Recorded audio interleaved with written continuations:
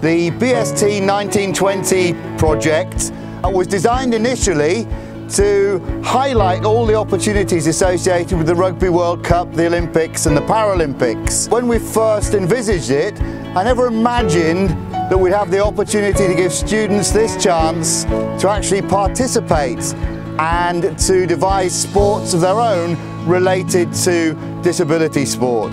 The most important thing about this project is that it's allowed our students to think in the way that people that design disability sport have had to think.